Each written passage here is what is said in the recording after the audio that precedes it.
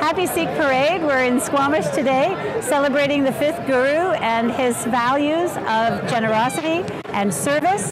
Of course, it's always exciting to celebrate Canada's multiculturalism and the fact that our country is great because of its inclusivity and diversity. We're two weeks away from celebrating Canada's 150th birthday, and this is what it's all about.